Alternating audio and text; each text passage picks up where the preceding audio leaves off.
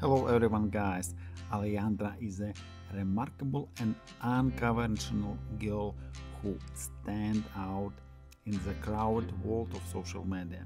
As an anti-influencer, she doesn't dictate what others should do or not, or how they should live. Instead, she embodies the philosophy of live and learn, encouraging her followers to explore life on their own terms.